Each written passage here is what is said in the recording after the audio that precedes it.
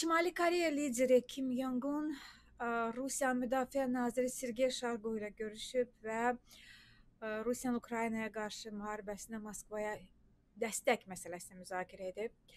Shoigu Şimali Koreyada, Putin Moskvada Afrika ölkələrindən dəstək almağa çalışır. Bu arada Ukrayna irəliləyir və prezident Zelenski əks hücumda yeni uğurlar barədə, o cümlədən Zaporojyedən 150 kilometr aralı olan Staromayorskoy kəndinin azad edildiyini deyib. Əlbəttə Rusiya-Ukrayna müharibəsinin hazırki dönəmini necə dəyərləndirərdiniz? Sevinç xanım, məncə elə Rusiyanın müdafiə naziri səviyyəsində Şimali Koreyaya üst tutması, Şimali Koreyaya möhtac duruma düşməsi ən yaxşı bir göstəricidir, barometrdir ki, Rusiya hansı vəziyyətə gəlib çatıb. Baxın, Şimali Koreya bütün dünyadan təcrid olunmuş və o cümlədən o Rusiyanın özünün də səs verdiyi ağır beynəlxalq sanksiyalar altında olan bir ölkədir. Və o qədər orada belə deyək, o totalitarizm absurd həddindədir ki, dünyada simvola çevrilib bu. Qeyri-insani idarə etmənin, insanı insan kimi saymayan bir idarə etmənin, öz xalqına düşmən olmanın, məsələn, e, özünün təhsilinə, səhiyyəsinə ayrıldığından 50 dəfə artıq vəsaiti silahlanmaya həsr etmənin bariz nümunəsi olan, öz vətəndaşını insan kimi saymayan, az qala bütün vətəndaşlarını əsir almış, əsir kimi davranan bir rejim dünyanın gülüş hədəfi olan, sarkazm hədəfi olan bir rejim bu günləri Rusiya üçün bir tutacaq bir arqument, bir söykənəcəyə çevrilir. Görün, Rusiya o qədər böyük, zəngin dövlət, o cümlədən kifayət qədər istedadlı xalqı olan bir dövlət yanlış idarə etmənin nəticəsində hansı vəziyyətə gətirilib çıxarılıb ki, indi Rusiyanın Şimali Koreyaya ehtiyacı var. Məncə bunun özü artıq elə nəticədir. Bunun özü artıq nəticədir ki, baxın, tək adam hakimiyyəti, avtoritarizm, xalqı yox, öz şəxsi ambisiyalarını düşünmək qoskoca Rusiyanı, bu qədər böyük potensiallı olan ölkəni hansı acınacaqlı vəziyyətə gətirib çıxardı. Bundan daha acınacaqlı nə düşünmək olar ki, belə bir ölkə, cəmi bir neçə il bundan qabaq böyük yeddilər qapılarını açmışlar Rusiyanın qarşısında ki, artıq böyük səkkizlərə çevrilməsi zaman məsələsi idi. Yəni dünyanın inkişaf eləmiş 8 ölkəsindən biri olacağın halda bir neçə ilin ərzində özünün o işğalçılıq siyasətinlə, anti-insani, repressiv siyasətinlə gedib düşürsən Şimali Koreya ilə, Eritriya ilə bir siyahıya. İndi sənin müttəfiqin kimdir? Mali kimi, Mərkəzi Afrika Respublikası kimi hərbi xuntaların, yarım cinayətkar dəstələrin idarə elədiyi izqoy, təcrid olunmuş hər tərəfdən ölkələr Rusiyanı görün hansı vəziyyətə gətirib çıxardıblar. Bax, bunun özü bir göstəricidir. O cümlədən indi bu böyük təmtəraqla Rusiya mətbuatının təbliğ elədiyi Rusiya-Afrika sammitində də bu məsələ çıxır ortalığa. Afrika ölkələrindən Rusiya maksimum faydalanmaq istəyir. İndi Afrika ölkələri vaxtilə müstəmləkə olublar. Böyük bir hissəsi Fransanın, böyük bir hissəsi İngiltərənin müstəmləkəsi olub, İtaliyanın müstəmləkəsi olub. Yəni bir sözlə Avropanın müstəmləkəsi olub və orada müstəmləkə əleyhinə bir ovqat olub. Sovetlər İttifaqı onların o müstəmləkə əleyhinə mübarizəsində iştirak edib deyə müəyyən bir zəmin var ki, bəzi Afrika ölkələrində Rusiya orada simpatiya qazansın. Və dediyim kimi, bir sıra ölkələrdə də Wagnerin vasitəsilə xuntaların iş başına gəlməsinə kömək ediblər və bundan istifadə edib Afrikada müəyyən bir özünə güya platforma qurmağa hazırlaşır. Amma orada da biabırçıdır vəziyyət. Məsələn, 2019-cu ildə əgər Rusiya-Afrika sammitində 44 dövlət başçısı iştirak edirdisə, bu dəfə Peterburqda keçirilən Rusiya-Afrika sammitində 17 ölkənin başçısı iştirak edirdi. Yəni onların da 2-3-ü Rusiyanın xeyrinə BMT-də səs verib, qalan 14-ü də bir tərəf qalıb. Deməli, həmin o bir tərəf qalmış Rusiyaya münasibətdə və lehinə səs vermiş, tamamilə təcrid olunmuş və diktaturaların idarə elədiyi ölkələrdən söhbət gedir. Yeri gəlmişəm, dünyada çox ciddi şəkildə qütbləşmə prosesi gedir.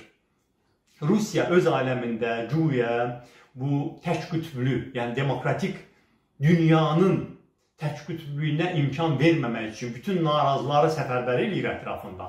Amma ora toplananların hamısı beynəlxalq aləmdən təcrid olunmuş, xalqlara tərəfindən əslində rədd edilmiş və öz xalqlarını işğal eləmiş rejimlərdir. Demək olar ki, bu saat Rusiyanın ətrafında bir dənə də demokratik hakimiyyət yoxdur. Deməli, beləliklə, Rusiya indi ona nəyə nail olub? Rusiya dünyanı demokratiyadan yana olan və xalqların azadlıqlarına nifrət edən rejimlərin arasında bölüb. Və bu çox yaxşı haldır ki, dünyada 140-dan artıq dövlət çox açıq şəkildə Rusiyanın işğal siyasətinə qarşı mövqe qoyur və Rusiyanın lehinə bütün o BMT platformalarında 6-7-dən artıq dövlət səs vermir. Latin Amerikasında bir-iki dövlətdən gedir söhbət, Nikaraguadan gedir söhbət, bəzi hallarda Venezueladan gedir, bəzi hallarda Kubadan gedir. Nəyə görə bəzi hallar deyirəm? Hətta onlar da artıq manevr eləyirlər. Məsələn, axırıncı Avropa Birliyi Latin Amerikası sammitində heç Venezuela Rus Rusiyanı müdafiə etməyə çalışmadı. Təsəvvür eləyin, hətta Maduro da artıq manevr eləyir. Yəni Rusiya bu vəziyyətdədir. Yalnız söykənib tam təcrid olunmuş, özü də beynəlxalq sanksiyalar altında olan ölkələrin himayəsinə üst tutub. O biri tərəfdə isə çox böyük demokratik və inkişaf etməkdə olan qüvvələrin birliyi var. NATO var, Avropa Birliyi var, ABŞ var, böyük yeddilik var. İqtisadiyyatın da, siyasətin də, diplomatiyanın da, hərbi gücün də mütləq əksəriyyəti bu gün Ukraynanın müttəfiqlərinin əlindədir. Və belə bir vəziyyətdə Ukraynanın əks hücumunun yeni bir mərhələsi başlayıb. Bəli, haqlısınız. Artıq Zaporojye cəbhəsində Ukraynanın əks hücumunun ikinci mərhələsi Rusiyanın müdafiə xəttinin birincini aşdı.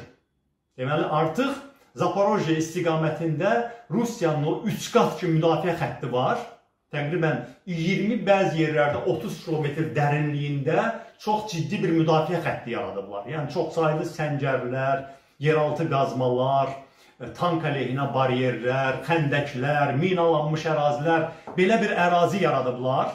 Deməli 20 kilometr dərinliyində, bəzi yerlərdə 30 kilometr dərinliyində həmin o ərazinin 3də birini artıq Ukrayna keçdi böyük itkilər bahasına olsa da o minalanmış əraziləri insanlar canları bahasına keçdilər. Müəyyən texnikadan da itkiyə yol verdilər. Amma artıq dediyim kimi 3 müdafiə xəttinin biri yarılıb. Deməli ikisi qaldı. Bu gedişlə Ukrayna yəqin ki, elə bu yay hücumunda həmin o digər iki müdafiə xəttində yaracaq və o hədəflədiyi Melitopol, Berdyanski xəttinə çıxıb Krımla Donetskin arasında arasını kəsəcək, o quru yolunu kəsəcək. Mən hesab edirəm ki, bunun üçün ümidlər çoxdur. Bəli, e, bunu artıq bütün dünya qəbul edir. Hamı görür ki, gözlənildiyi qədər sürətli getmir Ukraynanın əks hücumu. Çünki Rusiya həddindən artıq çox ciddi çalışır. Demək olar ki, Rusiya az qala o 2-ci dünya müharibəsində bizim o böyük vətən müharibəsi dediyimiz vaxtı ilə çünki biz də özümüz axı SSR-nin bir parçası sayırdıq və böyük vətən müharibəsi kimi qəbul edirdi o 2-ci dünya müharibəsini. O müharibədə Rusiya necə böyük səfərbərlik eləyirdisə, indi Ukraynaya qarşı da elə bir səfərbərliyə gedir artıq. Yeni qanun qəbul olunub yeri gəlmişkən. Bu Rusiyanın nə qədər ölüm-dirim məsələsi kimi bu məsələyə baxdığını göstərir.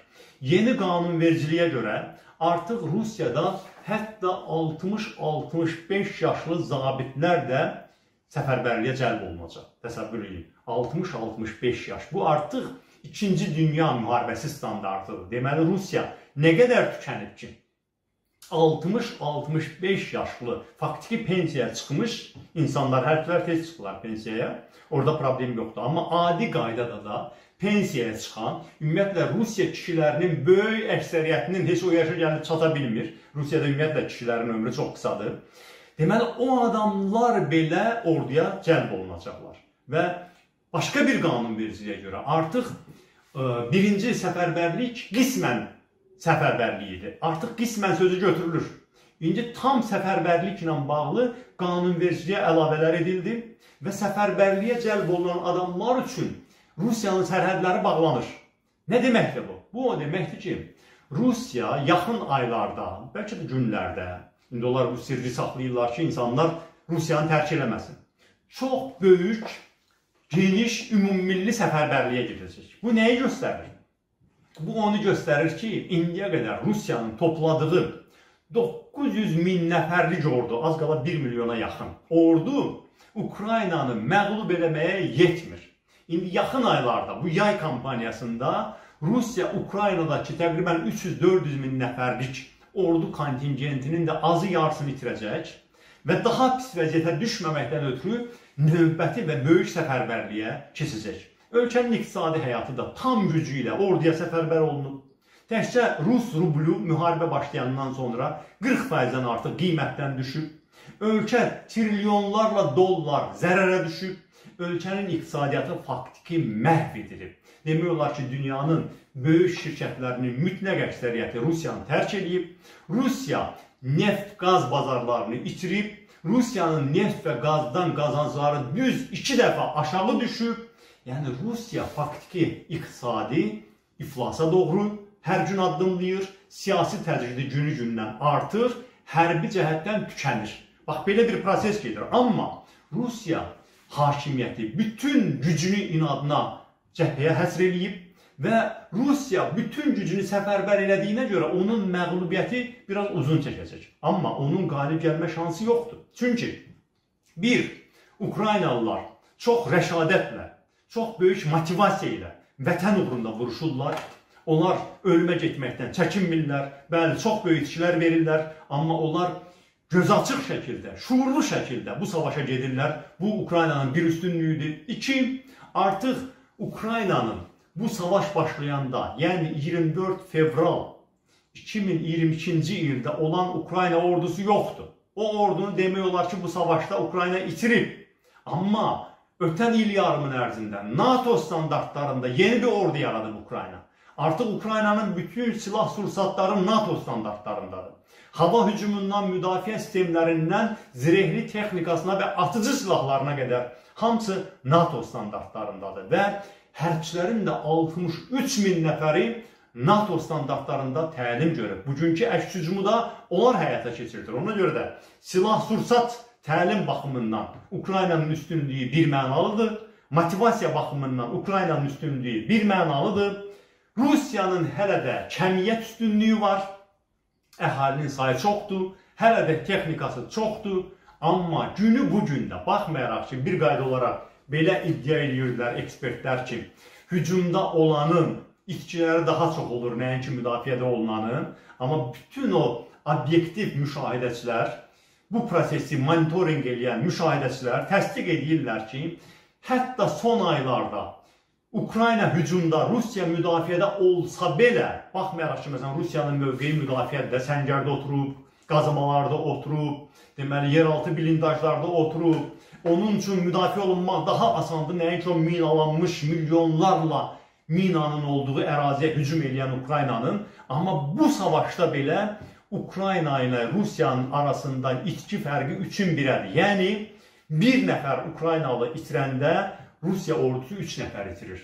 Bir zirehli texnikanı Ukrayna itirəndə Rusiya ordusu 3 qatını itirir. Beləliklə, tükənmək növbəsi sırası Rusiyadadır. Ukrayna tükənməyəcək. Çünki Ukraynanın arxasında çox ciddi müttəfiqlər var.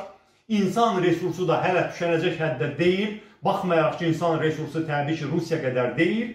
Amma insan resursu da hələ kifayət eləyir. Və ona görə də hesab edirəm ki, bu əks hücum böyük sürətlə olmasa da, böyük sürətlə artıq alınmır. Çünki Rusiya bütün gücü ilə vuruşur və bunu etiraf eləmək lazımdır ki, əvvəlki səhvlərdən nəticə çıxardıblar. Gerasimovun rəhbərliyi ilə mən bunu əvvəllərdən deyirdim ki, Gerasimov Rusiyanın baş qərargah rəisi, peşəkar hərbçidir prinsipcə. O artıq müəyyən bir səhvlərdən nəticə çıxardıb, müdafiəni qura bilib, mümkün olan Rusiya ordusunu bu şərtlər altında mümkün olan ən yaxşı vəziyyətə gətirib çıxarda bilib, amma texnoloji gerilik və Rusiyanın işğalçı müharibəsi aparmasına görə motivasiyanın olmaması və Rusiyanın dünyadan təcrid olunması, iqtisadi baxımdan tükənməsi bu müharibədə Rusiyanın qalib gəlmə şansını əlindən alır. Belə bir variant yoxdur. Dediyim səbəblərdən ona görə də hesab edirəm ki, bəli, Rusiya və ruspərəstlər üçün, o cümlədən Azərbaycan rejimi üçün təsəllidir ki, Rusiya müqaviməti davam elətdirir.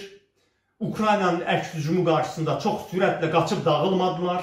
Bir neçə ayda müqavimət davam eləyir, bəlkə bir müddətdə davam eləyəcək. Bu onlar üçün təsəllidir.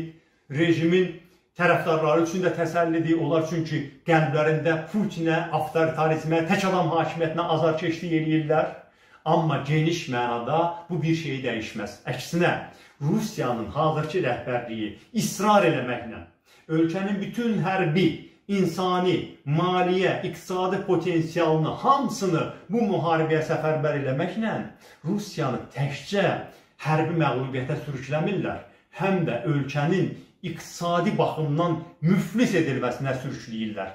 Bu müharibənin sonunda Rusiya işğal elədiyi torpaqları qoruyub saxlaya bilməyəcək.